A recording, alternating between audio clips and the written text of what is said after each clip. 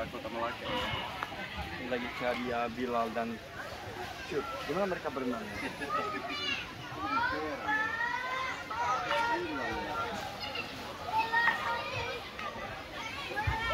Hilang ke mana mereka ya?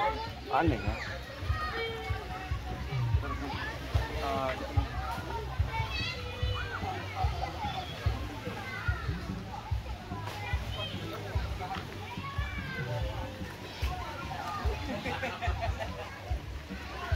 Kita